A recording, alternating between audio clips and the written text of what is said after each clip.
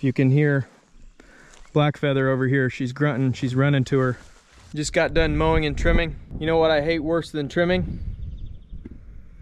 Trimming poison ivy.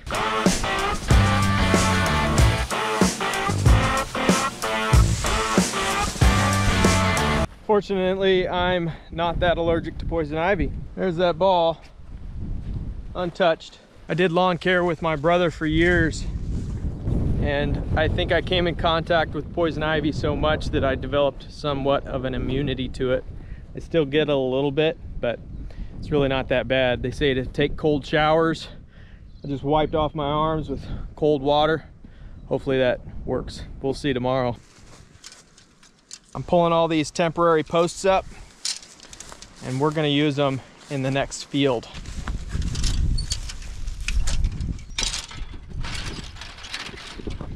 Got quite the arm load. I don't know how many there are. I might count them up as I set them out, see how many I have.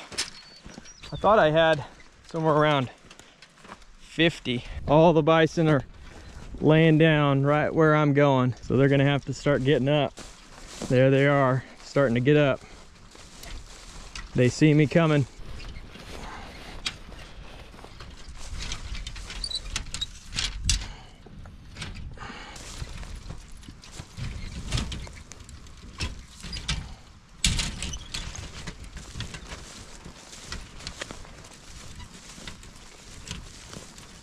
Sorry guys. I know you were resting. Need the stakes though.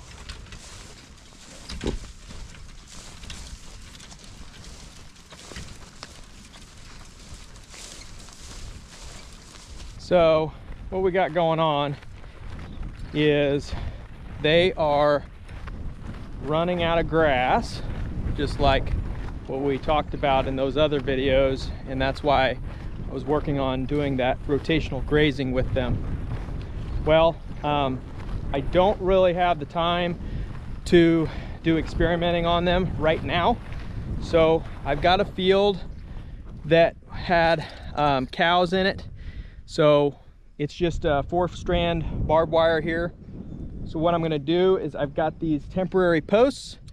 We're gonna go around the whole field and we are going to put these in and we're gonna run two strands of hot wire on here and that will keep them in. So the field is looking really, really pretty.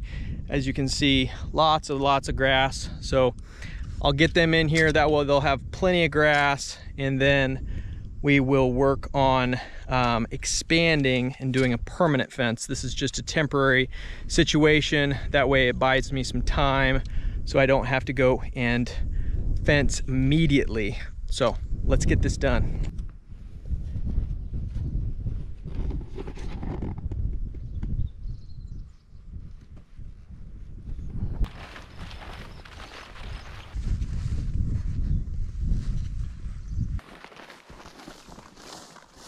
So this is actually the field that I'm going to set up the corral, the portable panels, but it's gonna be um, in that spot.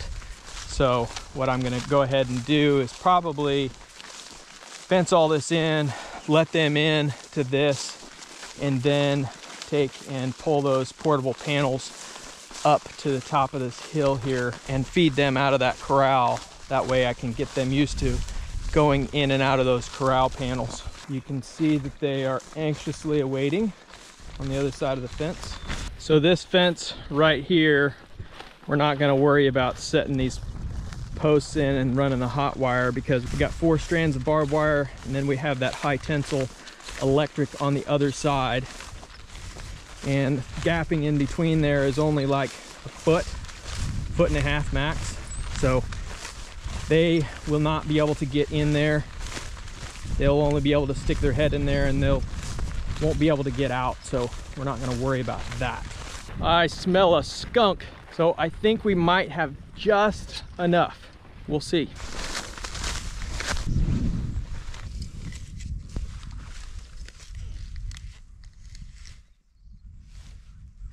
It's been a week or so since it's rained and the ground is starting to harden up again. We have good moisture, but it's just getting a little hard. Well, what we have to do here is this brace and this wire is in front of this gate. So I need to take this brace out and then pin this barbed wire up over here somewhere in order for this gate to be able to be opened and the bison to be able to run through. So let's take this out.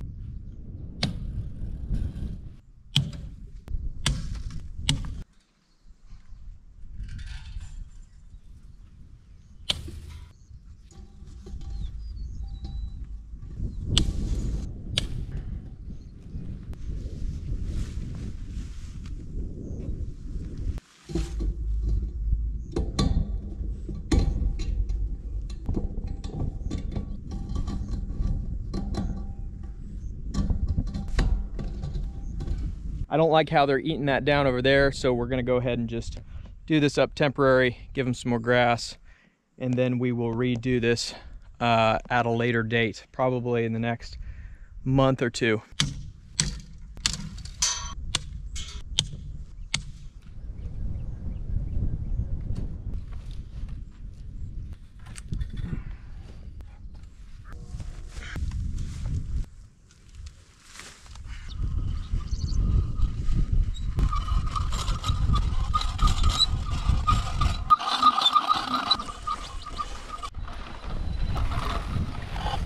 We are hot. So we got all the wires done. We've got two temporary wires on the inside of that barbed wire.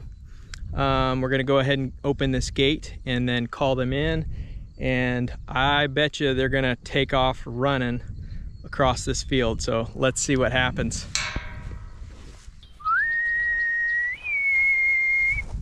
They're laying down way at the other end of the field over there.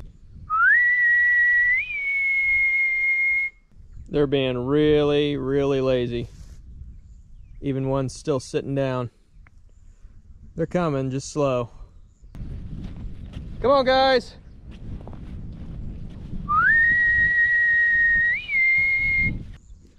We're waiting for the rest of the herd to come. Red Prairie is the first one to lead, and then Strong Wind and Coyote.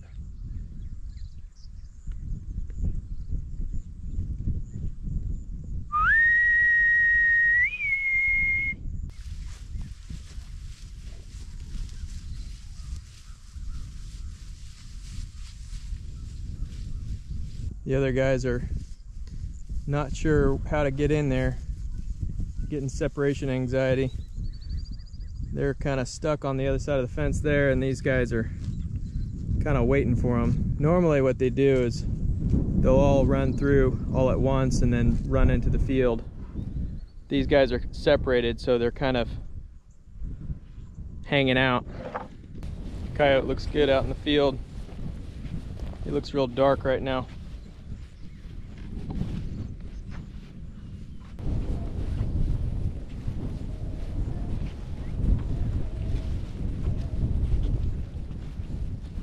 There they go.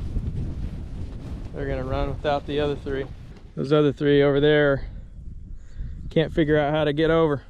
I think what we'll do is we're gonna go in the fence there and we will give a little pressure to them from that side and make them run to this corner and then they will see the opening and run straight in.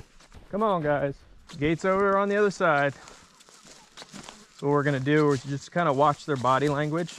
We're gonna come way on the outside of them and they're watching us right now. They're getting nervous because they're separated from their herd. So we don't wanna stress them out, but we're just gonna give them enough uneasy pressure that they wanna start walking to that corner.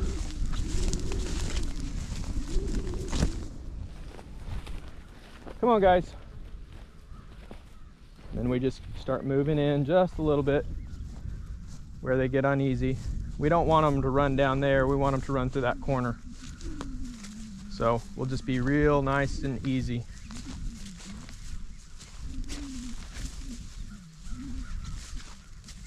Come on, guys. If you give them too much pressure, they'll take off down into the field. Which is what we don't want. See, black feathers already faced that way, so now I'm gonna stop. And it kind of gets her to stop. And see if we can get her to get around that big clump of cedars. Come on, guys. That big clump of cedars is the problem.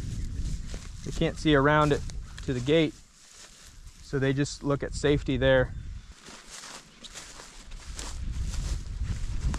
Come on, girls.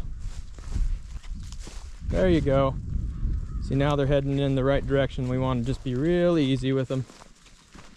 And there they see the hole. Oop. One didn't. See if we can, oh.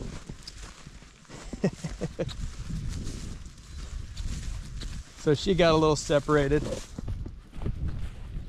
So we're gonna do the same thing with her. Kind of walk on the very outskirts of her and just give her a little bit of pressure.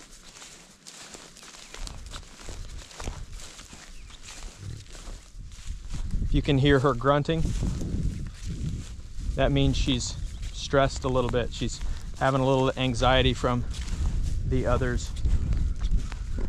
See if she goes there. Oh, she's turning.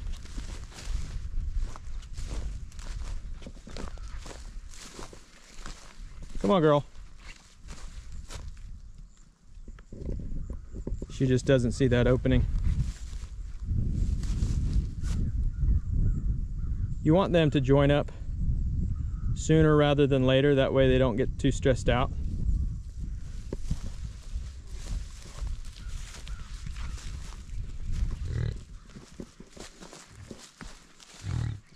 If you can hear Black Feather over here, she's grunting, she's running to her. They're communicating.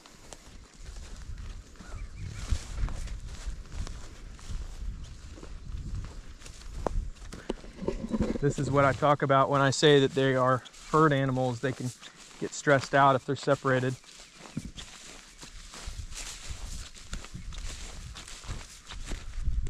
Come on, girls.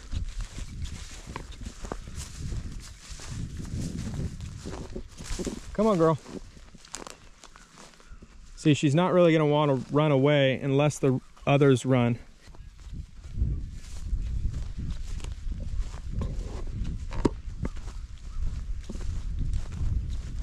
See, the other girls are running away. If they can all go down, down to that corner and meet down in that corner, then she'll figure it out. Almost there.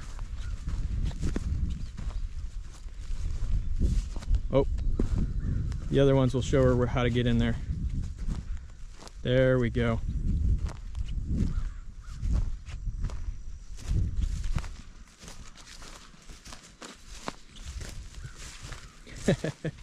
they took off running.